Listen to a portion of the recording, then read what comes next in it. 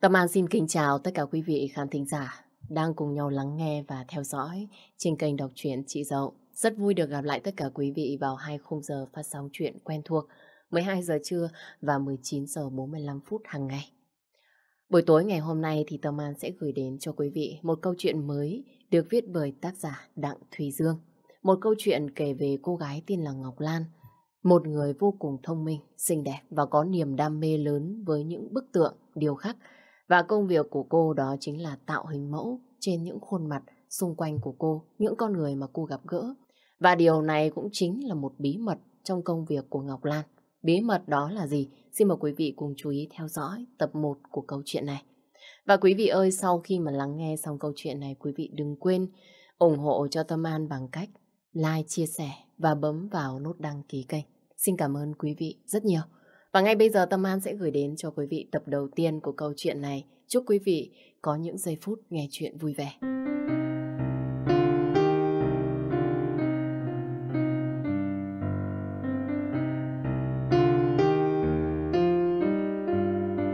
Ngoại thành Hà Nội, một buổi sáng âm u. Ngọc Lan 21 tuổi, sinh viên trường đại học mỹ thuật. Cô đang ngồi trước bức tượng và trong quá trình tạo hình của mình. Cô đang muốn tạo ra một người phụ nữ vô cùng hoàn hảo, nhưng nguyên liệu lại gần hết. Chắc là hôm nay cô phải tạm ngừng ở đây. Cô sẽ đi lấy thêm nguyên liệu, rồi sau đó có thể tiếp tục công việc của mình. Bên ngoài gió đang nổi mạnh, cơn rông đang kéo đến, mây đen vần vũ cả bầu trời, dự đoán một cơn mưa lớn sắp đến. Nếu không đi ngay, chắc chắn khi trở về, cô lại rơi vào tình trạng thê thảm nhất. Bức tượng cần phải được hoàn thành trong 3 ngày nữa. Nếu không sẽ không kịp nộp cho thầy giáo. Mà đây lại là chính là bài thi giữa kỳ của cô. Vừa vội chiếc áo mưa đang được gấp gọn để trên nóc tủ. Ngay cạnh đó là chiếc chìa khóa xe đạp điện. Ngọc Lan lao nhanh ra ngoài sau khi khóa cửa phòng cẩn thận. Nơi cô đến để lấy nguyên liệu ở cách đây không xa, nhưng cũng không gần để có thể kịp trở về trước cơn mưa đổ xuống. Ngồi trên chiếc xe đạp lao đi vun vút trong gió. Ngọc Lan nhìn chiếc xô để trong giò xe bằng ánh mắt đầy hy vọng. Chỉ cần một xô là đủ rồi. Sau đó, mưa có to thế nào đi chăng nữa, cô cũng không cần phải lo nghĩ gì nhiều. Những giọt mưa bắt đầu rơi xuống tay, xuống mái tóc đen tuyền của Ngọc Lan. Quãng đường dài 3 km chỉ còn có 1 phần 2. Ngọc Lan à, cố lên. Đây đâu phải lần đầu tiên mày đi lấy nguyên liệu ở trong tình trạng tồi tệ như vậy chứ. Đến nơi vừa kịp dựng chân trống xuống, cả chiếc áo mưa của cô ướt đẫm. Cô vội vàng xách cái xô đến một bãi đất trống, nơi được bao quanh bởi một căn chung cư xã hội nhưng chưa mở bán. Mấy căn nhà siêu vẹo và cả những tảng đá cao sừng sững. Cách đó xa xa là một khu rừng nhỏ. Nước mưa làm cho đất dính chặt lại, nặng hơn bình thường rất nhiều, nên cô phải tốn rất nhiều thời gian và công sức cho công việc bình thường chỉ mất 10 đến 15 phút. Hôm nay Ngọc Lan mất tổng cộng 50 phút. Nước mưa làm cho cô cay nhòe cả mắt mới có thể xong việc. Xách cây xô về phòng trọ mà cô cảm tưởng như đang vác một tảng đá rất nặng. Rời khỏi bãi đất, Ngọc Lan không hề biết rằng trong lúc cô đang hì hục công việc, có một kẻ giấu mặt đang ẩn nấp sau một tảng đá. Hắn không phải là sinh viên của trường đại học mỹ thuật, mà là một tên sát nhân độc ác, đang làm giờ công việc phi tang một thi thể vừa bị hắn giết hại, thì lại bị cô phá đám. Hắn ta quan sát Ngọc Lan từ đầu đến cuối, trong tay lăm lăm một con dao nhọn, định bụng là ra tay với cô. Nếu như cô vô tình phát hiện ra cái xác bị hắn chôn vùi xuống dưới ba tấc đất vào đêm hôm qua. Mới chưa đầy 6 giờ mà cái xác đó lại chưa thể phân hủy được. Cũng may Ngọc Lan không quá đào sâu, nếu không thì không biết chuyện gì xảy ra với cô. Ngọc Lan trở về phòng trọ trong tình trạng ướt như chuột lột. Cô không thể nào tiếp tục công việc nếu chưa đi tắm và thay đồ mới. Sau 10 phút tắm gội, vừa bước ra ngoài thì cô kịp bắt máy từ thầy Trung, người phụ trách bộ môn điêu khắc của khoa. Thầy hỏi han quan tâm cô và tác phẩm cô đang làm. Ngọc Lan chỉ trả lời rằng mình sắp hoàn thành rồi, chắc chắn sẽ nộp đúng thời hạn. Hai người nói chuyện với nhau mấy câu, sau đó cô tiếp tục công việc của mình. Phải nhanh lên, nếu không là không kịp. Cô không muốn có bất cứ một sơ suất nào xảy ra, ở những bước cuối cùng này. Đưa tay vào trong xô và lấy ra một nắm bùn. Ngọc Lan nhíu mày. Hình như cô vừa cầm phải một thứ gì đó. Một sợi tóc, màu đen và dài, giống như tóc của cô. Chưa bao giờ cô để tóc của mình rơi vào nguyên liệu. Thế nhưng cô chỉ nhẹ nhàng lấy nó ra, rồi lại tiếp tục tạo hình cho người phụ nữ đang ở trước mặt mình. Ngọc Lan không hề để ý rằng sợi tóc vừa rồi bị cô thả xuống đất, đã tự chui vào gầm giường rồi nằm im trong đó. Giống như chờ đợi sinh mệnh quay trở về. Đêm hôm đó, Ngọc Lan mơ thấy mình bị nhốt trong một căn phòng và bị một ai đó bịt kín mặt ở bên ngoài, châm lửa đốt cháy. Thế nhưng trong lúc nguy cấp, một người phụ nữ kỳ lạ xuất hiện và cứu cô. Cô chưa bao giờ gặp cô ta ở ngoài đời. Vậy tại sao cô ta lại cứu cô chứ? Hỏi người ấy nguyên nhân, thì cô ta chỉ nói với cô một câu. Chúng ta có cùng một kẻ thù. Sáng thứ hai khi đang đi trên hành lang, Ngọc Lan giật mình khi nghe thấy tiếng gọi của Minh Anh, người bạn học cùng lớp với mình. Minh Anh nói với bạn bằng một giọng nói khen ngợi và vô cùng ngưỡng mộ. Ngọc Lan, cậu giỏi thật, bức tượng của cậu rất có hồn. À, mình chỉ cố gắng hết sức thôi mà.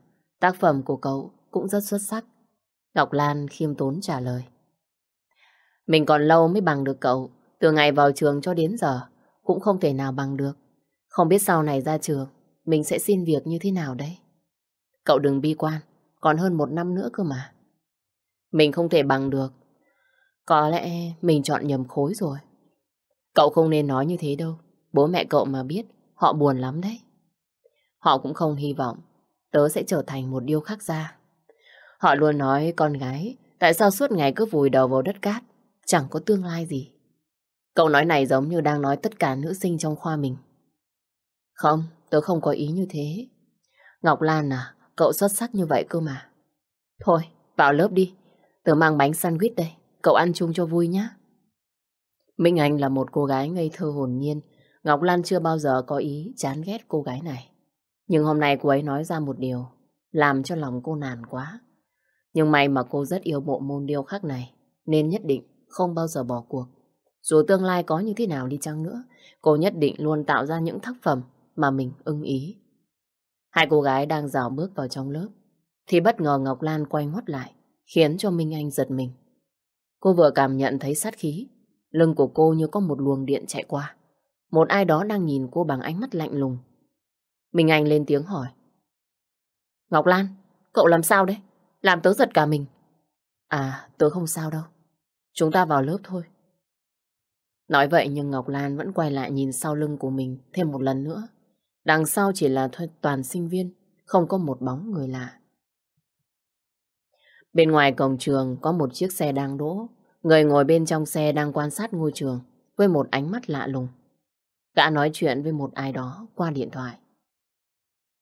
Con bé, học trong trường này. Dạ vâng, cũng sắp xếp giờ tan học rồi. Tôi có thể chỉ mặt nó cho anh. Sao anh không chụp ảnh nó rồi gửi cho tôi? Đỗ xe ở đây quá lâu, có thể khiến người ta nghi ngờ. Do anh nói có cuộc hẹn ở gần đây, nên tôi mời anh tới, nhìn mặt nó trực tiếp. Anh có kế hoạch gì không? Tạm thời là chưa. Không biết con bé đó có nhìn thấy gì trong đống đất đó không? Nếu có thì phải thủ tiêu nó ngay. Bây giờ tôi phải đi họp. Anh theo dõi nó. Có cái gì thì báo với tôi. Chiếc xe ô tô phóng vụt trên con đường lớn, như thể sợ ai đó bắt gặp. Người ngồi bên trong đương nhiên là có liên quan đến bí mật nằm dưới số đất mà Ngọc Lan đã lấy về để hoàn thành tác phẩm của mình. Thế nên khi nghe tên sát thủ báo cáo lại, gã cảm thấy rất lo sợ khi tội ác của mình có thể bị bại lộ. Cũng may Ngọc Lan chưa tìm thấy gì. Nếu không thì bây giờ người ta nhìn thấy xác của một người đàn bà đó. Và bây giờ nơi gã đến không phải là công ty mà chính là cơ quan công an. Mấy ngày trước con bé sinh viên đó chưa tìm thấy gì, nhưng không có gì đảm bảo rằng sau này cô ta cũng không tìm thấy gì. Gã nên làm gì đây? Bao nhiêu công sức giàn dựng nên vụ mất tích của người đàn bà đó, chả nhẽ lại thành công cốc, chỉ vì một con bé sinh viên sao? Gã đã giết một người, giết thêm một người nữa, cũng đâu có sao. Mà cũng tại tên sát thủ đó, tại sao hắn lại thủ tiêu xác của người đàn bà đó ở khu đất đó chứ. Hắn không sợ bị phát hiện ra hay sao? Dù hắn là một sát thủ, thành công trong bao nhiêu phi vụ, thì phải cẩn thận một chút chứ. Tốt nhất là bây giờ cứ giao cho hắn nhiệm vụ theo dõi con bé. Nếu có gì bất ổn, thì hắn sẽ đưa con bé đó về thế giới bên kia. Tội ác của gã mãi mãi không thể nào bị bại lộ, thậm chí là có phải giết chết cả tên sát nhân. Gã tự nhủ với chính bản thân mình. Buổi học hôm nay kết thúc khi cả lớp của Ngọc Lan vừa tạo hình xong cho một người mẫu, cũng là một sinh viên trong trường. Cô sinh viên ấy có khuôn mặt rất khả ái, nhưng chỉ vướng một khuyết điểm duy nhất, đó chính là có gò má bị hóp. Cô ta không hài lòng với điều này một chút nào, nhưng lại không có kinh tế để đi phẫu thuật thẩm mỹ thay đổi điều đó. Cô ta nói với thầy giáo và những sinh viên trong lớp Ngọc Lan, hãy khắc phục khuyết điểm đó trên khuôn mặt của cô ta. Nhưng mọi người lại không đồng ý, vì điêu khắc là một bộ môn nghệ thuật, đòi hỏi tính trung thực. Chỉ riêng Ngọc Lan là đồng ý, bởi vì cô cảm thấy thương xót cho cô gái kia. Chỗ đất Ngọc Lan dùng để nặn lên bức tượng của cô bạn đó, chính là chỗ đất cô đi lấy trong ngày mưa gió. Nguyên liệu đã gần hết, nên lát nữa Ngọc Lan đành phải đi lấy thêm. Cũng may hôm nay không phải dùng thêm. Cô sinh viên ngây thơ không biết rằng mình đang sử dụng bùn đất đang chôn vùi một cơ thể người chết. Và sau này, điều đó lại mang đến cho cô rất nhiều nguy hiểm. Sau hai buổi học miệt mài, cuối cùng Ngọc Lan cũng tạo ra một tác phẩm tuyệt đẹp cho Kim Hoa, người bạn học cùng trường. So với những bức tượng do những sinh viên khác tạo ra, thì đương nhiên là Kim Hoa rất hài lòng với tác phẩm của cô, bởi vì nó đẹp hơn người thật rất nhiều. Nhìn vào nó, cô ta cảm thấy như mình được phẫu thuật thẩm mỹ miễn phí, hai gò má cao hoàn toàn biến mất. Ngọc Lan cũng không nghĩ nhiều về điều này. Cô chỉ mong Kim Hoa không quá mặc cảm với khuyết điểm trên khuôn mặt của mình. Và vì đây chỉ là một tác phẩm điêu khắc bình thường, nên cả hai cô gái cũng không nghĩ gì nhiều. Ngọc Lan sau đó cũng cất bức tượng vào trong tủ ở trong nhà trọ, để sau này nếu như thiếu nguyên liệu thì phá ra để sử dụng tiếp. Minh Anh thì lại không ngừng tán tụng. Cậu giỏi thật đấy, bức tượng của cậu đã khắc phục hoàn toàn khuyết điểm trên khuôn mặt của Kim Hoa, mà lại khiến cho người xem nhận ra chủ nhân của nó. Trong khi bức tượng của mình thì thầy Trung chê là không có hồn. Cậu đừng có bi quan. Cậu có thể làm lại. Mình sẽ giúp cậu nếu như cậu muốn. Thôi, tớ chả có thời gian đâu. Tớ phải về nhà đây. Hôm nay nhà tớ có việc. Ừ, chào cậu nhé. Ngọc Lan đứng nhìn theo bóng lưng của Minh Anh, mà trong lòng cảm thấy vô cùng ngạc nhiên.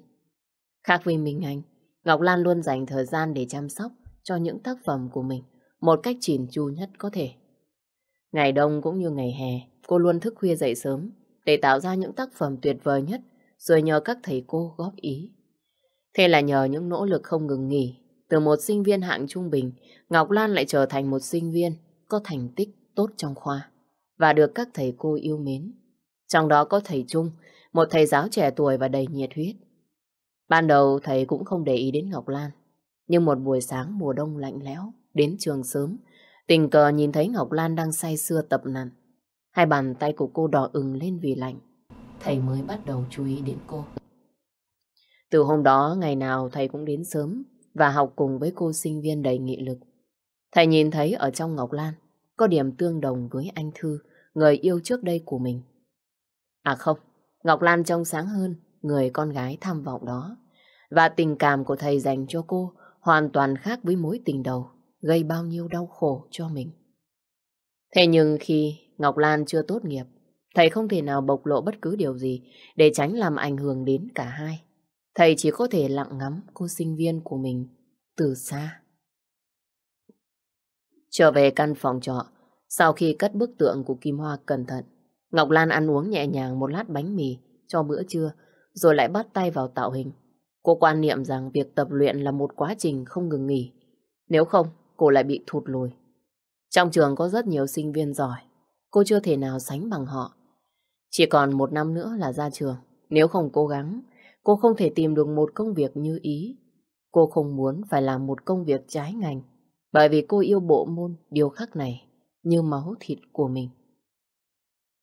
Đang say sưa làm việc, Ngọc Lan không biết rằng ở bên ngoài đang có người quan sát mình. Có tiếng gõ cửa vang lên. Ai đến thế nhỉ? Chắc là bà chủ nhà đến thu tiền phường xã gì. Chưa tiền thuê nhà, cô đóng từ ngày hôm qua. Ở một nơi cách đó không quá xa, Kim Hoa đang hài lòng ngắm nhìn mình trong gương. Khuôn mặt cô ta hình như trở nên đầy đặn hơn. Lấy chiếc điện thoại ra để tự sướng, chụp một lúc chụp tấm ảnh mà không phải vất vả chọn góc mặt. Đúng là có sự thay đổi thần kỳ.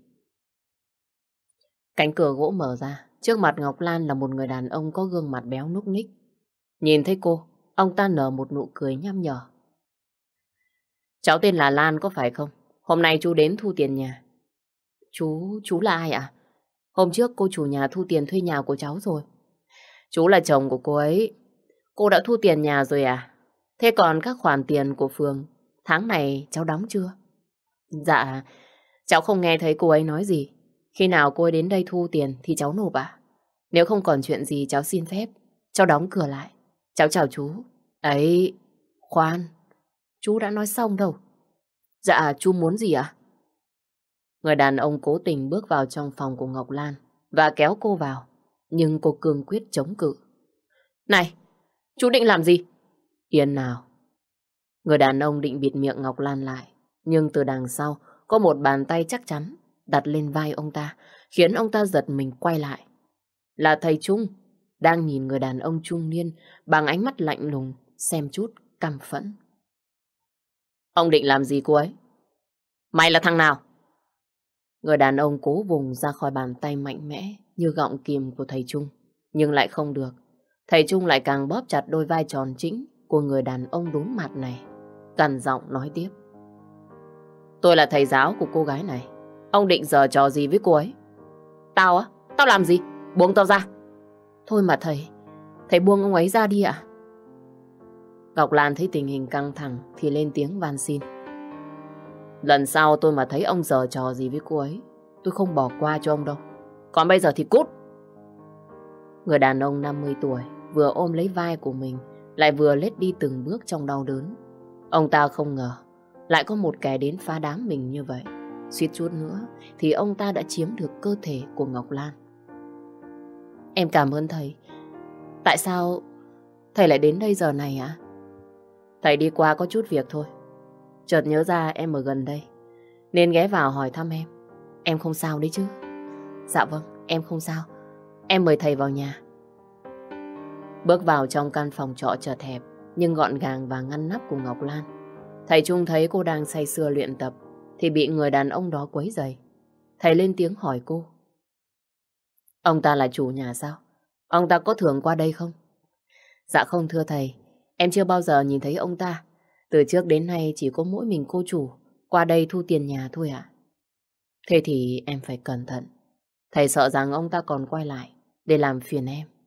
Dạ vâng ạ. Dạ em mời thầy uống nước. Đưa cho thầy Trung cốc nước khoáng. Ngọc Lan ngồi xuống đối diện với thầy để nói chuyện.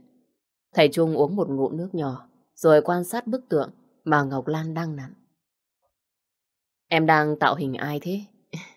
dạ, em đang tạo hình Minh Anh. Em thấy bạn ấy rất khả ái. Ừ, em làm rất tốt. Nhưng về phần mắt thì thầy thấy chưa được ổn lắm.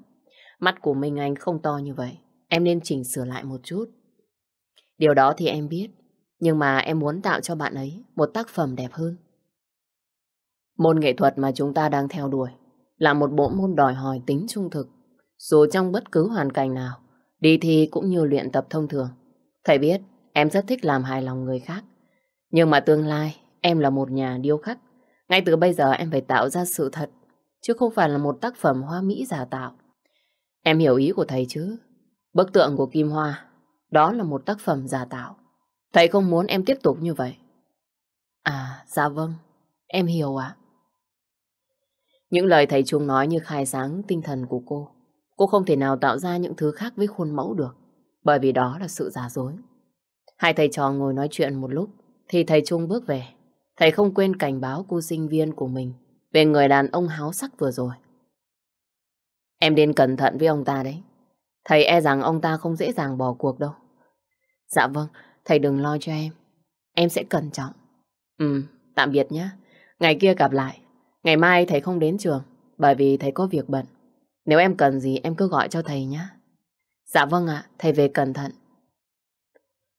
Ngọc Lan ra tiễn thầy Trung ra tận cửa, sau đó mới quay vào phòng.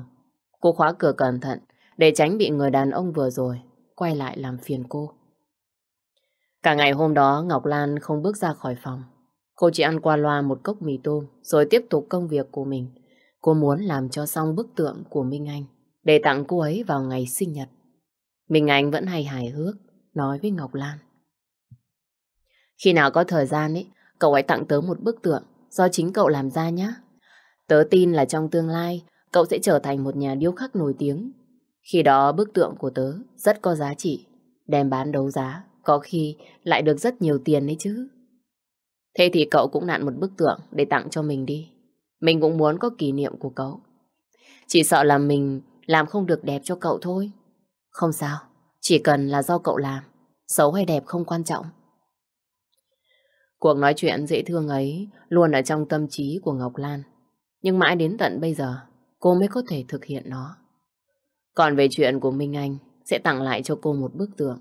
Cô không quan trọng là khi nào, chỉ cần trước khi ra trường là được rồi. Đêm hôm đó, khi Ngọc Lan đang say giấc nồng, người đàn ông 50 tuổi, đồi bại kia, lại lén lút tìm đến phòng trọ của cô. Dùng chùm chìa khóa lấy trộm được của vợ mình để mở cửa phòng của Ngọc Lan nhằm mục đích giờ trò đồi bại với cô. Ông ta vốn là một kẻ có thành tích bất hảo, vừa đi tù về. Thế nhưng khi nhìn thấy cô sinh viên trẻ trung xinh đẹp, thì lại không kiềm chế được ham muốn và nảy sinh ý định cưỡng đoạt cô. Trả từng chiếc chìa khóa vào trong ổ. Cả cơ thể ông ta run lên khi nghĩ đến chuyện xấu xa sắp được làm với Ngọc Lan. Cách đó chừng mấy trăm mét, tên sát thủ vẫn theo dõi từng động tĩnh của người đàn ông béo nục nịch. Hắn biết ông ta muốn làm gì, nhưng tất nhiên sẽ không bao giờ ngăn cản. Đàn ông mà, cũng giống như khi hắn ra tay giết hại người phụ nữ đó thôi. Ngọc Lan đã đến khu đất đó lấy đất về mấy lần, nhưng không thấy chuyện gì bất thường. Thế nên hắn vẫn theo dõi cô cho đến tận bây giờ. Hắn tò mò không biết cô sinh viên yếu đuối sẽ làm gì để thoát khỏi bàn tay của tên đàn ông to béo kia. Cạch cạch, cánh cửa phòng Ngọc Lan hé mở. Tên đàn ông đi gión rén từng bước vào trong phòng của cô. Cố gắng đi đến bên giường và không để cho cô phát hiện. Tiếng thở đều đều vang lên trong đêm cho thấy Ngọc Lan đang ngủ rất say. Cô không hề biết đến sự nguy hiểm đang rình rập quanh mình. Người đàn ông lần mò trong bóng tối một lúc, cuối cùng cũng chạm được vào chân của Ngọc Lan. Lúc này cô sinh viên mới choàng tỉnh, nhưng lại bị lão ta trồm lên và bịt chặt miệng. Ngọc Lan vúng vẫy, hỏng thoát khỏi bàn tay của kẻ dâm dục. Nhưng bàn tay của lão ta cứng như gọng kìm, nên cô không dễ dàng gì để thoát thân. Ở bên ngoài tên sát thủ đang chăm chú quan sát, không tỏ ra bất cứ một dấu hiệu nào cho thấy rằng mình sẽ ra tay cứu giúp Ngọc Lan. Trong đầu của hắn còn nghĩ đến biết đâu lão béo sẽ trừ khử cô nữ sinh này thay cho mình sau khi giờ trò đồi bại thì sao? Nếu như vậy thì đúng là nhất cử lưỡng tiện. Thế nhưng trái với suy nghĩ của hắn, dưới ánh trăng màu bạc, hắn nghe thấy một tiếng hét rợn người phát ra từ phòng trọ của Ngọc Lan. Nhưng là tiếng hét của người đàn ông, chứ không phải là của Ngọc Lan. Rầm rầm, tiếng mở cửa rất mạnh, tên đàn ông chạy như bay ra ngoài. Hình như lão ta bị thương, dáng điệu trông rất khổ sở. Bàn tay đang đưa lên, giữ chặt lấy cặp mắt của mình. Lão đụng phải mấy chậu cây bên ngoài, khiến chúng đổ vỡ trên mặt đất. Còn lão ta thì ngã lăn quay, giống như người bị trúng gió. Căn nhà trọ của Ngọc Lan đang ở, vốn là nhà kho, được bà chủ nhà sử dụng để cất đồ đạc không dùng đến. Nhưng vì thương tình cô sinh viên nghèo, nên bà ta cho cô thuê với giá rẻ. Chính vì vậy mà ở xung quanh, không mấy ai biết được chuyện gì đang xảy đến với cô đêm nay. Tên sát thủ cũng không hiểu chuyện gì đang xảy ra. Tại sao lão béo đó lại cư xử kỳ lạ như vậy? Lẽ ra người bỏ chạy phải là Ngọc Lan mới đúng. Thế chả nhẽ cô lại dọa dẫm cho lão béo này một trận và khiến cho lão sợ chết khiếp và bỏ chạy sao? Nếu vậy thì cô đã làm gì? Hắn tỏ ra băn khoăn, liếc mắt nhìn về phía căn nhà nhỏ, bây giờ đã được đóng cửa. Dường như Ngọc Lan không buồn quan tâm đến chuyện chậu cây bị vỡ, hoặc giả như cô ta quá hoảng sợ, nên không dám ra ngoài bây giờ. Bóng tối bao trùm căn nhà nhỏ, khiến tên sát thủ không nhìn thấy gì đáng nghi. Nhưng mà hắn ta muốn biết chuyện gì vừa mới xảy đến. Hắn ta lặng lẽ từng bước từng bước đi đến bên cửa sổ. Hắn dí sát mắt vào, nhìn vào bên trong, nhưng chỉ là bóng đêm mà thôi. 5 phút, 10 phút trôi qua, cũng không nhìn thấy gì. Hắn lặng lẽ lên xe bỏ đi, để tránh bị phát hiện. Hắn không hề biết rằng lúc hắn đang nhìn trộn ở ngoài, thì ở bên trong, những sợi tóc của Ngọc Lan đang chuyển động không ngừng. Những sợi tóc ấy vốn không phải là của cô sinh viên, mà là của một người phụ nữ bị hắn sát hại. Chúng mang theo linh hồn của cô ta quay trở về dương gian và tìm cơ hội trả thù. Người đầu tiên chính là hắn, kẻ trực tiếp ra tay, giết hại cô ta. Sáng hôm sau, Ngọc Lan tỉnh giấc trong tình trạng hết sức tươi tỉnh. Cô không hề biết đêm qua mình suýt bị xâm hại bởi tên đàn ông đốn mặt. Mở cửa bước ra ngoài, Ngọc Lan ngạc nhiên khi thấy những chậu cây cảnh của mình bị đổ vỡ nằm ngổn ngang trên mặt đất. Xót xa ngồi xuống nhặt từng cây lên xem. Cô không biết là ai nghịch phá những chậu cây của cô. Cô khổ công vun trồng lắm chứ. Đành phải trồng lại vậy thôi. Những ngày tiếp theo cuộc sống của Ngọc Lan cứ như vậy trôi qua trong sự yên bình. Một ngày nọ cô được Minh Anh rủ dê. Này, Ngọc Lan, đi đến hội trợ với tớ không? Uhm, bây giờ á? Tớ phải về nhà để luyện tập chứ. Một buổi thôi mà, cậu nên dành ra một chút ít thời gian để đi chơi cho tâm hồn được thoải mái chứ. Suốt ngày cứ chú tâm vào việc học như thế, chẳng mấy chốc mà thành bà cô. Những lời Minh Anh nói không phải lần đầu tiên Ngọc Lan mới nghe. Cô biết chứ, tuổi thanh xuân của con gái có hạn, nếu không tận dụng thì chẳng mấy chốc sẽ trôi qua. Lúc ấy có tiếc nuối cũng chả được gì. Thật ra không phải là cô không muốn đi chơi, mà là tính tình của cô khép kín nên rất ngại đến chỗ đông người. Mình Anh vẫn cứ nài nỉ cô. Này, đi đi, tớ không thể nào đi một mình được. Ừ, thôi được rồi, đi thì đi. Ngọc Lan nói xong đứng lên, xách túi đi theo người bạn nhí nhảnh của mình.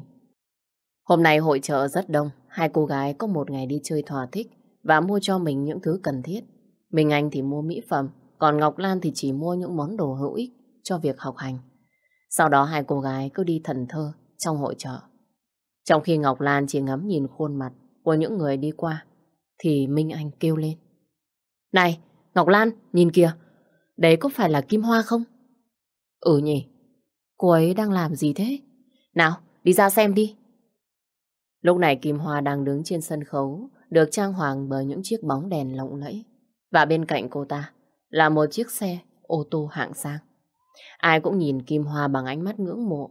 Còn hai cô gái ngây thơ thì không hiểu Kim Hoa trở thành người mẫu từ lúc nào. Kim Hoa tươi cười đưa mắt, nhìn những người đang vây quanh mình. Nhận ra Ngọc Lan và Minh Anh thì tỏ ý khinh khỉnh. Minh Anh thấy vậy thì bĩu môi. cô ta tưởng cô ta sắp trở thành hoa hậu à? Mà nhìn gì, kiêu căng như vậy chứ. Đúng là đáng ghét. Nhưng mà cô ấy thật sự rất xinh đẹp. Xinh bình thường, còn lâu mới bằng cậu. Mình thì xinh đẹp cái gì chứ? Mình quá bình thường ấy. Cậu đừng nói như thế. Trong mắt của mình, cậu là người xinh đẹp nhất. Cậu cao 1m69, tóc đen dài, mắt nâu sâu thẳm, da trắng không tì vết. Chẳng qua là cậu không nhận ra điều đó thôi. Mà dạ, dạo này tôi thấy tóc của cậu hình như bị xoăn đuôi thì phải. Cậu làm tóc đi à? Hai cô gái đang nói chuyện với nhau thì có một người đàn ông đi đến trước mặt họ và ngắt lời. Xin lỗi, anh có thể nói chuyện với em được không? À, dạ vâng. Anh muốn nói chuyện gì với em ạ? Anh thấy em rất xinh đẹp. Anh muốn em trở thành người mẫu quảng cáo cho công ty của anh. Minh Anh lúc này vui vẻ lên tiếng. Thấy chưa Ngọc Lan, tớ bảo với cậu rồi mà. Đúng lúc này Kim Hoa cũng đang nhìn về phía hai cô bạn bằng ánh mắt không hài lòng. Quản lý của cô ta đang làm cái gì vậy chứ? Mình Anh nhìn thấy ánh mắt của Kim Hoa thì nhìn lại bằng ánh mắt khiêu khích, giống như thể muốn nói.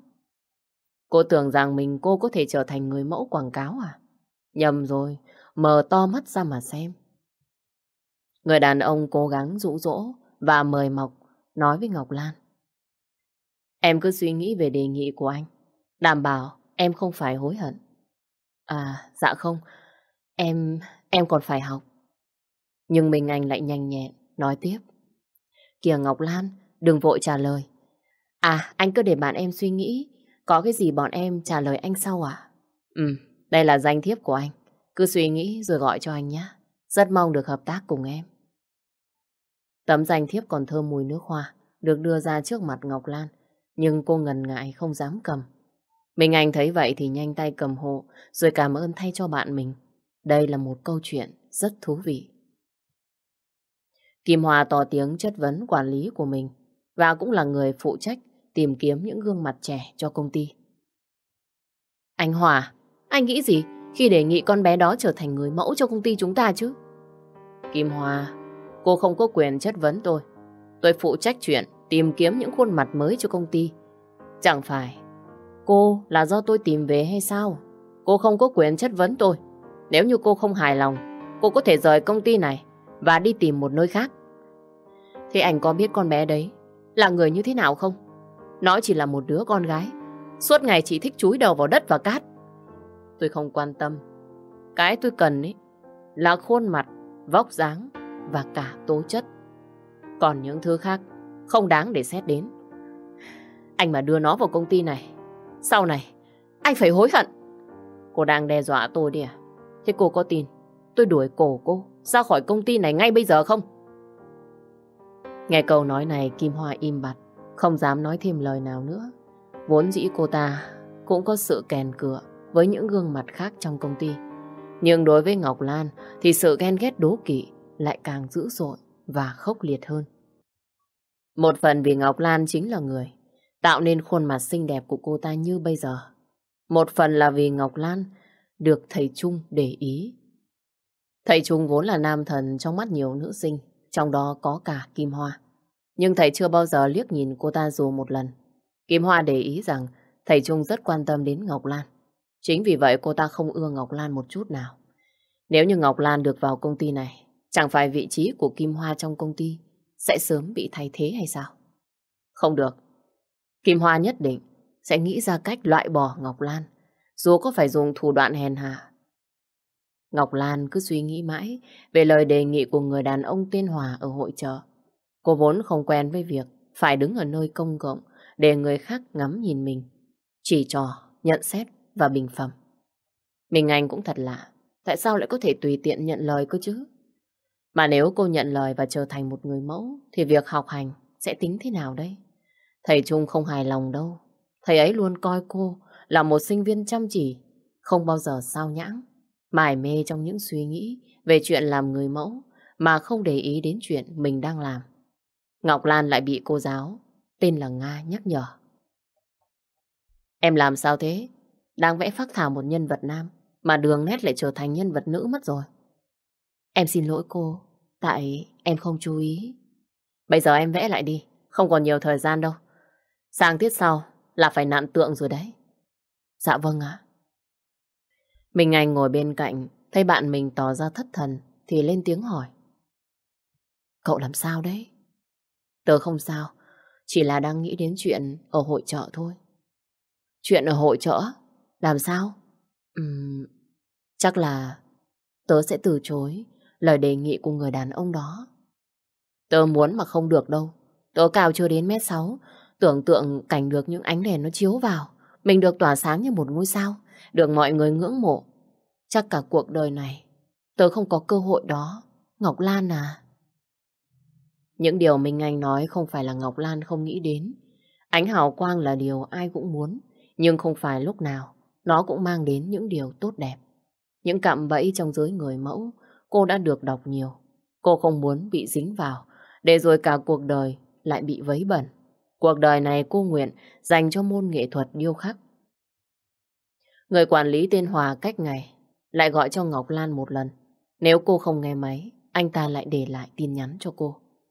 Thậm chí anh ta còn hứa hẹn rằng trả cho cô con số cao hơn cả Kim Hoa và bất cứ người mẫu nào mới vào nghề. Nhận thấy sự cám dỗ bày ra trước mắt, Ngọc Lan bắt đầu rung động. Vì là sinh viên xuất thân trong một gia đình không giàu có, nếu không muốn nói là nghèo khó. Thế nên đối với Ngọc Lan, chuyện có thể kiếm được nhiều tiền trong một ngày là chuyện chỉ có trong mơ. Cô cũng đi làm nhiều công việc bát tham dành cho sinh viên, nhưng chỉ được một thời gian ngắn là bị đuổi do người ta chê cô chậm chạp. Sau bao nhiêu giây phút đắn đo, cuối cùng Ngọc Lan quyết định cô sẽ thử sức với công việc này. Cô báo cho quản lý Hòa biết quyết định của mình và được anh ta hẹn đến công ty để phỏng vấn và xếp lịch đào tạo nếu như đạt yêu cầu. Chiều thứ sáu khi chuông báo hết giờ vang lên, Ngọc Lan vội vàng thu dọn hết đồ đạc rồi chạy ra khỏi lớp. Thầy Trung thấy phản ứng vội vàng của cô thì ngạc nhiên lắm. Bởi mọi khi cô luôn cố gắng làm cho xong tác phẩm của mình, sau đó mới ra về cơ mà. Vậy mà ngày hôm nay... Thầy lúc này lên tiếng hỏi Minh Anh. Sao hôm nay Ngọc Lan về vội thế? Em ấy có việc bận sao? Dạ vâng thưa thầy, hôm nay bạn ấy có hẹn với quản lý công ty người mẫu Modern nên mới vội vàng như thế. Bạn ấy sắp trở thành người nổi tiếng đấy thầy ạ. Nét mặt của thầy trung trùng xuống, tỏ vẻ không hài lòng. Thầy không muốn Ngọc Lan sao nhãng việc học, nhất là lại làm công việc liên quan đến giới nghệ sĩ. Bản chất của Ngọc Lan vốn chân chất ngây thơ, cô ấy không phù hợp với những thứ xa hoa phù phiếm. Gọi điện nhưng Ngọc Lan không nghe máy. Bây giờ thầy sẽ đến công ty X Modern để tìm và thuyết phục cô nữ sinh trong sáng từ bỏ ý định trở thành người mẫu. Thầy không muốn mất đi một người mà mình có tình cảm thật sự. Đến trước cửa công ty Modern, Ngọc Lan đụng phải một người đàn ông trẻ trung, có vóc dáng cao giáo và khuôn mặt sáng sủa đẹp trai. Anh ta lịch sự xin lỗi, dù Ngọc Lan là người đụng phải anh ta trước. Cô không sao chứ? À, tôi không sao, tôi xin lỗi. Cô đi đâu mà vội vàng thế này? Tôi vào để phỏng vấn, tôi xin lỗi ạ. Nói xong Ngọc Lan chạy thật nhanh đến thang máy. Khi ấy cửa thang máy đã chuẩn bị đóng lại. Cô vội vàng lên tiếng. Cho tôi vào với. Nhập vào đám người đang đứng sẵn trong đó. Ngọc Lan nhấn nút số 6, nhưng không được. Một người thấy vậy thì đưa thẻ nhân viên ra nhấn hộ cô. Ngọc Lan chỉ biết nói lời cảm ơn. Người đó quay sang nhìn cô và hỏi. Em đến đây để tham gia vào vòng tuyển chọn người mẫu sao? Dạ vâng, sao anh biết ạ? Nhìn em là anh biết rồi. Chúc em may mắn. Dạ vâng, em cảm ơn. Ra khỏi thang máy, Ngọc Lan lại không thể vào phòng quản lý để gặp Hoàng ngay. Cô sẽ vào nhà vệ sinh để chỉnh sửa lại một chút. Nhà vệ sinh lúc này không có ai. Nhưng khi Ngọc Lan đánh son và nhìn mình trong gương, cô trông thật là khác lạ. Thỏi son này vốn là của Minh Anh cho cô mượn, bởi vì cô chưa bao giờ trang điểm. Bỗng cô giật mình khi nhìn thấy một gương mặt lạ lẫm xuất hiện. Khuôn mặt trong gương lẽ ra phải là của Ngọc Lan. Thế nhưng lại là của một người xa lạ cô chưa bao giờ nhìn thấy. Người đó rất xinh đẹp, nhưng có nét gì đó giống cô. Phải rồi, hai người đều có ánh mắt u buồn giống nhau. Nhưng Ngọc Lan chưa kịp định thần lại, thì gương mặt ấy đã hoàn toàn biến mất. Bây giờ là hình ảnh của chính bản thân cô. Ngọc Lan đưa tay lên dụi mắt mấy lần, thấy trong gương vẫn là mình. Ngọc Lan tự nhủ. Ôi trời đất, chắc là mình nhầm rồi. Tô son và chỉnh sửa lại trang phục, cũng như đầu tóc lần cuối, Ngọc Lan vội vàng bước ra khỏi nhà vệ sinh, bởi vì quản lý Hòa đang gọi cô. Ngọc Lan, em đến chưa? Anh đợi em trước cửa phòng 608. Dạ vâng ạ, em đến ngay. À, em nhìn thấy anh rồi. Vừa nói Ngọc Lan vừa tắt máy, quản lý Hòa đang sốt ruột đợi cô. Anh ta chạy đến kéo tay cô, ra trước cửa phòng và dặn dò cô. Bây giờ em bước vào phòng này để tham gia phỏng vấn với một số thành viên trong ban giám đốc. Nếu như qua được vòng này, em sẽ chính thức được gia nhập công ty và tham gia trình diễn. Em sẽ nhận được cát xê vài triệu cho đến vài chục triệu cho một buổi biểu diễn. Cố lên nhá. Anh nói giúp em trước mặt ban giám đốc để em chỉ phải tham gia một vòng phỏng vấn thôi đấy. Cố gắng lên. Nói xong quản lý Hòa đẩy cánh cửa ra để cho Ngọc Lan bước vào. Tai của cô như ù đi, bởi vì con số người đàn ông này nói đến. Nếu như một tháng cô có thể kiếm được vài triệu cho đến vài chục triệu, thì mẹ cô không phải làm lụng vất vả để gửi tiền lên cho con gái ăn học. Thế nhưng ông ta, bố dượng của cô lại mò lên thành phố xin tiền của cô cho mà xem. Mẹ con cô từ xưa đến nay phải chịu quá nhiều đau khổ vì ông ta rồi. Nhất định Ngọc Lan phải đón mẹ và em trai lên thành phố cho bằng được. Dù điều đó có thể đánh đổi bằng chuyện việc học hành của cô sẽ bị giảm sút. Sau 30 phút phỏng vấn bằng miệng và trình diễn một vài kỹ năng các quốc, đơn giản thôi, và Ngọc Lan nhận được một lời khen. Rất tốt, em có thể ra về. Khi nào có kết quả, chúng tôi sẽ thông báo. Bước ra ngoài, Ngọc Lan không nhìn thấy quản lý Hòa đâu, mà chỉ nhìn thấy Kim Hoa đã đứng từ đó từ lúc nào. Ánh mắt cô ta không có một chút nào thân thiện với cô, mặc dù cô mở lời chào hỏi trước. Cũng may gò má của Kim Hoa không còn cao như trước, nên khuôn mặt không toát lên vẻ đằng đằng sát khí. Thế nhưng Ngọc Lan thấy khuôn mặt ấy sống hệt như bức tượng mà mình đã tạo ra. Xuống đến cổng công ty, Ngọc Lan nhìn thấy thầy Trung đang đợi mình. Nét mặt của thầy tràn đầy sự lo lắng, quan tâm nhưng cũng đầy giận hờn. Thầy không đợi cô nữ sinh thân yêu đi đến, mà chủ động chạy đến bên cô, nắm lấy tay của cô. Ngọc Lan, sao em không nghe điện thoại của thầy chứ?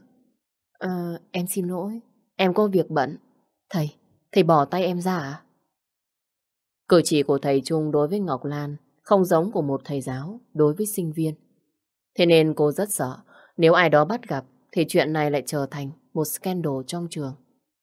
Thầy Trung tỏ ra lúng túng. Lần đầu tiên trong cuộc đời làm việc của mình, thầy có hành động không đúng mực với sinh viên. Thầy hỏi Ngọc Lan. Nhưng tại sao em đến đây chứ? Nếu như em muốn tìm công việc làm thêm, thì nơi này thật sự không phù hợp với em. Cùng lúc đó như để chứng minh cho lời thầy nói, một chiếc xe sang trọng dừng lại bên vệ đường, cách chỗ hai người đứng không xa. Một cô gái trẻ, ước chừng còn trẻ tuổi hơn cả Ngọc Lan, nhưng sở hữu một đôi chân dài miên man, mở cửa bước xuống. Cô ta không quên thò đầu vào trong xe và hôn lên má của một người đàn ông đáng tuổi bố mình. Sau đó còn làm động tác bye bye. Cô ta bước vào trong công ty. Khắp người cô ta toàn là hàng hiệu, túi sách, giày trang phục, nhìn từ trên xuống dưới, đều là những hàng hiệu.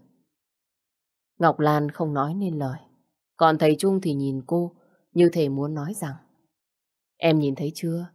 Thế giới đó tràn đầy cạm bẫy. Ngọc Lan nhất thời không biết nói gì. Thầy Trung lên tiếng ngay, bởi vì thầy biết cô nữ sinh nhạy cảm đang dao động. Nếu có thể thuyết phục được, thì ngay lúc này anh không thể bỏ qua. Ngọc Lan à, em không phù hợp với thế giới này. Em mau trở về, từ bỏ ý định trở thành người mẫu đi. Em... Ngọc Lan không dám nhìn vào đôi mắt của thầy, ấp úng nói trong miệng. Đúng lúc này từ đằng sau, quản lý Hòa lên tiếng. Ngọc Lan, đợi anh một chút. Cô giật mình quay lại, vội lên tiếng chào anh ta, rồi đợi quản lý Hòa đến thì giới thiệu với thầy Trung. Em xin giới thiệu, đây là anh Hòa, quản lý trong công ty Modern, là người phụ trách tìm kiếm những gương mặt mới trong công ty à? Chào anh, tôi là Đặng Minh Trung, giảng viên phụ trách bộ môn điêu khắc của trường Đại học Mỹ thuật. À, chào anh, tôi là Nguyễn Văn Hòa, chức danh của tôi thì Ngọc Lan vừa giới thiệu, rất vui được biết anh.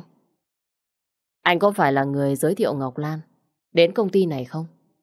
Dạ vâng, là tôi. Tôi tình cờ phát hiện ra cô ấy ở hội chợ.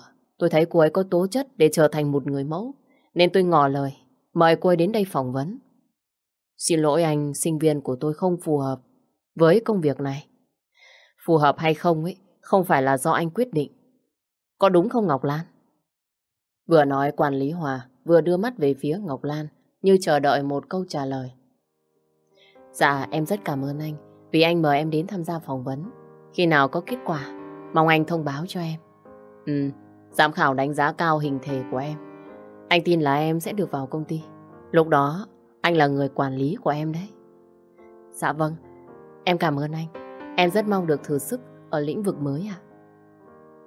Những lời cảm ơn của Ngọc Lan giống như những chiếc gai nhọn đâm vào tim của thầy Trung. Cô nữ sinh ngoan của thầy đã thay đổi rồi. Trái tim của thầy cảm thấy giống như bị ai đó bóp nghẹt. Không để ý đến ánh mắt đắc thắng của tài quản lý. Thầy nói với Ngọc Lan bằng giọng nói rất bình tĩnh. Em nên trở về trường. Thầy có thể đưa em về nhà. Dạ không cần đâu ạ. Em có thể đi xe buýt. Thầy cứ về trước đi ạ. Thầy không cần phải lo. Cũng không nên làm gì ảnh hưởng đến hình ảnh của mình. Tôi sẽ đưa cô ấy về. Đừng lo. Cô ấy không bị rụng mất một sợi tóc nào đâu. Lời nói của quản lý Hòa giống như đổ thêm dầu vào lửa. Hắn muốn khiêu khích thầy Trung. Thầy cố gắng bóp chặt tay, không để cho hắn nhìn thấy. Thầy không thể làm gì lỗ mãn được. Cách đó không xa, trong một chiếc xe màu đen sang trọng, một người đàn ông chứng kiến hết tất cả mọi chuyện.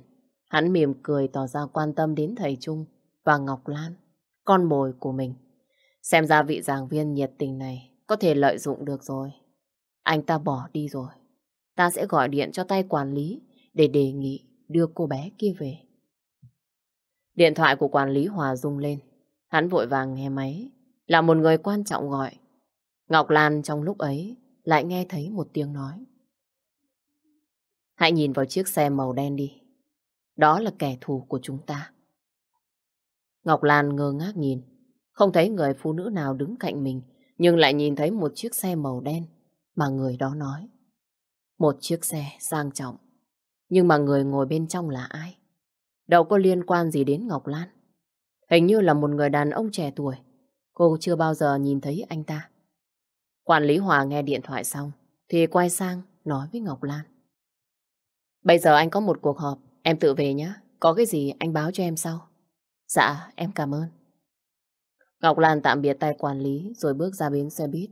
Đúng lúc này Minh Anh từ đâu chạy đến, nắm lấy tay của cô rồi hỏi vồn vã. Ngọc Lan, hôm nay cậu phỏng vấn thế nào? Kết quả tốt chứ? Cũng chưa biết được cậu à. Phải đợi mấy ngày nữa mới có kết quả. Mà sao cậu lại đến đây? Tớ đến đón cậu, nhân tiện hỏi xem cậu phỏng vấn có tốt không? Bây giờ bọn mình đi về nhé. Ừ, chúng ta ra bến xe buýt đi. Hai cô gái một cao một trung bình khoác tay nhau đi ra bến xe buýt. Chiếc xe màu đen mờ ám sau mấy phút quan sát hai cô gái cũng quyết định bỏ đi. Bởi vì chủ nhân của nó có việc quan trọng, không thể nào trì hoãn. Người phụ nữ bị hắn giết là một người rất quan trọng với hắn. Thế nhưng chỉ vì xa vào lưới tình với một người phụ nữ khác mà hắn nhẫn tâm sát hại cô ta. Đã có một giây phút nào đó, hắn cảm thấy hối hận vì hành vi của mình. Nhưng rồi hắn lại gạt bỏ sự yếu đuối ra khỏi tâm can và quyết tâm ra tay trừ khử một cô gái vô tội khác. Chỉ vì cô ta vô tình đi đào đất ở nơi hắn phi tang tội ác. Tay của hắn đã nhúng chàm. Hắn không thể dừng lại được nữa. Nếu không, hắn sẽ mất đi tất cả. Ngọc Lan và Minh Anh không trở về nhà ngay, mà còn đi la cà ở một quán cà phê. Ngọc Lan không muốn vào, nhưng mà Minh Anh một mực kéo tay bạn vào trong. Mình mời, cậu cứ vào đấy, ăn uống cho thoải mái. Anh trai mình vừa đi làm ra về, nên có cho mình một số tiền. Nhưng... Nhưng mình ngại lắm, mình không thể. Có cái gì đâu mà ngại, đâu phải lúc nào mình cũng mời được cậu đâu. Cậu muốn ăn gì thì cậu chọn nhé. Uhm, thế thì cảm ơn cậu. Cảm ơn cả anh trai của cậu. Mình... Mình muốn ăn chè bưởi. Ừ, ở đây có bánh này, có khoai tây. Cậu muốn ăn thêm không? Ừ, thôi, tớ không ăn gì đâu. Cậu đừng ngại, cậu ăn một miếng thôi cũng được. Cô ơi, cho cháu một bánh xèo nhá, hai cái xúc xích chiên. Những món ăn vặt thơm phức nóng hổi được đưa ra trước mặt hai cô gái. Mình Anh nhanh nhẹn cuốn cho mình một miếng bánh xèo, còn Ngọc Lan thì vừa đưa xúc xích lên miệng, đã đặt ngay xuống, thậm chí còn cúi đầu nôn khan. Mùi dầu mỡ làm cô không thể nào chịu đựng được. Mình Anh thấy vậy như hỏi. Cậu làm sao đây? À, tớ không sao. Tớ... Xúc xích có vấn đề á? Minh Anh vừa nói vừa đưa xúc xích lên mũi. Mùi thơm của nó hấp dẫn. Trước đây cả hai người cùng nhau đi ăn uống với nhau rất nhiều lần. Nhưng đây chính là lần đầu tiên Ngọc Lan bị như vậy. Không phải đâu. Xúc xích không có vấn đề gì. Tớ, tớ cảm thấy hơi khó chịu một chút. Có chuyện gì thế à hai đứa? Bà chủ quán thấy có điều bất thường thì bước ra hỏi. Bà ta đương nhiên không muốn có chuyện xảy ra trong cửa hàng của mình. Cũng may lúc đó trong cửa hàng không có ai khác. Minh Anh không ngần ngại hỏi thẳng. Cô ơi, xúc xích của cô mới dán, có phải không ạ? Ừ, thì có khách gọi cô mới dán. Cháu cũng thấy nó nóng hổi thế còn gì. Thế chắc là bạn của cháu mệt, chưa đồ ăn ấy, đâu có vấn đề gì đâu. Dạ, cháu xin lỗi, do cháu mệt, xin lỗi Minh Anh. Không sao đâu, nếu cậu mệt ý, thì để tớ đưa cậu về. Cô ơi, cô gói hộ cháu mấy món này nhá. Sau khi đưa Ngọc Lan về tận nhà, Minh Anh nói tiếp. Nếu cậu cảm thấy không khỏe, cậu phải đi nghỉ sớm. Đừng thức khuya mà nặn tượng nữa. Cốc trẻ bưởi này, cậu có muốn ăn không? Có chứ, tớ, tớ xin lỗi vì chuyện vừa nãy nhá. Không sao đâu, tớ chỉ sợ xúc xích có vấn đề. Để tớ mang về nhà xem sao. Ừm, xúc xích không có vấn đề gì đâu. Là tại tớ đấy, tớ xin lỗi cậu. Thôi được rồi, không sao đâu. Cậu nghỉ ngơi đi, tớ về đây. Minh Anh về rồi, Ngọc Lan lại sắn tay vào công việc của mình. Cô đang nặn giờ bức tượng của Minh Anh, người bạn thân ở đại học. Hai người tuy chơi cùng nhau cả hai năm, chụp ảnh và đi chơi với nhau vô số lần. Nhưng đây lại là lần đầu tiên Ngọc Lan lấy bạn mình ra làm hình mẫu cho việc điêu khắc. So với những ngày đầu tiên cô bước vào trường, thì những tác phẩm bây giờ cô tạo ra trở nên rất sinh động. Thầy Trung nói cô có thể tham dự vào những kỳ thi cấp quốc gia và quốc tế ở bộ môn này. Và tất nhiên, thầy sẽ giúp đỡ cô tận tình. Ngọc Lan vẫn chưa suy nghĩ về chuyện này, nhưng số tiền thưởng của các kỳ thi cũng làm cho cô đắn đo. Có lẽ cô nên thử sức một lần xem thế nào. Còn công ty Modern và những lời hứa hẹn của quản lý Hòa giống như một cơn gió thoảng qua tai. Cố tập trung vào tác phẩm và gạt đi những suy nghĩ vần vơ. Ngọc Lan nghĩ đến chuyện vừa rồi. Cô không biết phải có phải là do xúc xích hay là do cơ thể của cô có vấn đề. Dạo gần đây cô không ăn được đồ chiên rán, mùi dầu mỡ làm cô choáng váng.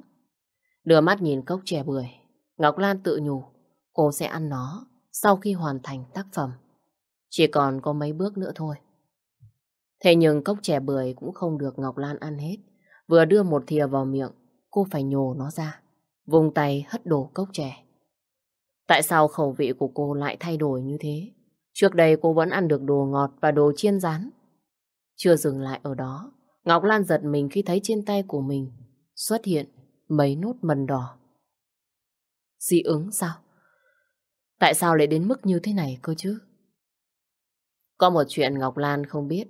Vừa nãy nhổ miếng chè ra, cô đã va vào tủ đựng đồ. Trong đó có bức tượng của Kim Hoa, khiến cho nó bị va chạm.